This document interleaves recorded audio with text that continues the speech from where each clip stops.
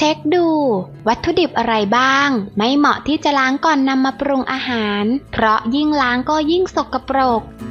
คุณแม่บ้านและคุณพ่อบ้านทั้งหลายที่ชอบทำอาหารกินเอง เชื่อว่าเกือบร้อยเปอร์เซ็นที่ส่วนใหญ่ต้องล้างวัตถุดิบต่างๆ ไม่ว่าจะเป็นเนื้อหรือผักก็ตาม เพราะคิดว่าถ้าหากล้างก่อนนำมาปรุงอาหาร ก็ยิ่งจะทำให้วัตถุดิบเหล่านั้น สะอาดและปลอดภัยจากสารเคมีต่างๆ มากขึ้น แต่ทว่าก็มีวัตถุดิบบางอย่างที่ไม่เหมาะจะนำมาล้างก่อนปรุงนะคะ เพราะด้วยสาเหตุอะไรนั้น และมีอะไรบ้างไปดูกันเลยค่ะ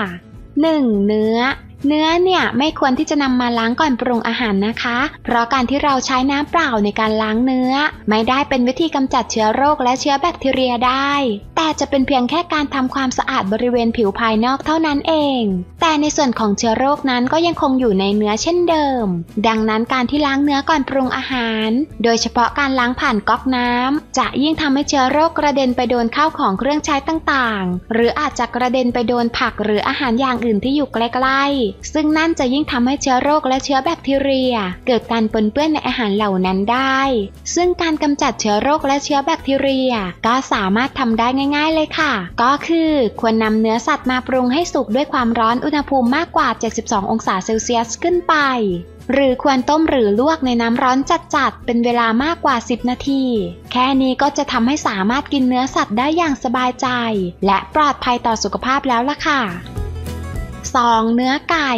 สำหรับเนื้อไก่นี้คนส่วนใหญ่มักล้างก่อนนำมาปรุงเช่นกัน แต่ทว่าเนื้อไก่ก็เป็นวัตถุดิบที่ห้ามล้างก่อนปรุงเด็ดขาด เพราะด้วยเหตุผลก็เช่นเดียวกับการล้างเนื้อสัตว์ในข้อหนึ่งการที่ล้างเนื้อไก่จะสามารถทำความสะอาดได้เพียงบริเวณผิวภายนอกเท่านั้น ส่วนเชื้อโรคก็ยังคงอยู่ในเนื้อไก่เช่นเดิม แถมเวลาที่เรากำลังล้างเนื้อไก่ยังทำให้เชื้อโรค และเชื้อแบคทีเรียกระเด็นไปโดนสิ่งของต่างๆ ที่อยู่ใกล้ๆอีกด้วย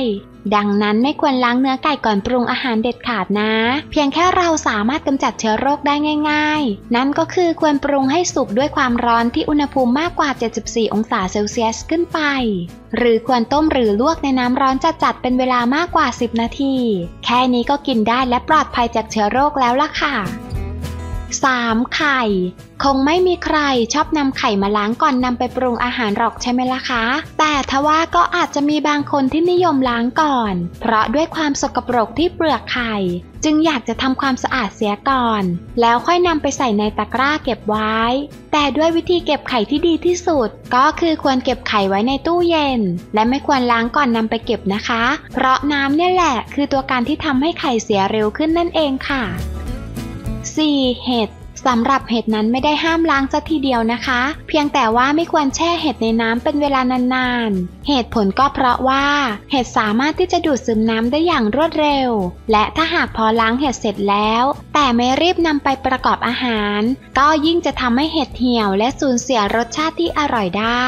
ดังนั้นเห็ดสามารถล้างได้ แต่ต้องล้างแล้วใช้ปรุงอาหารทันที เพื่อรสชาติที่ดีและมีคุณค่าทางสารอาหารนั่นเองค่ะ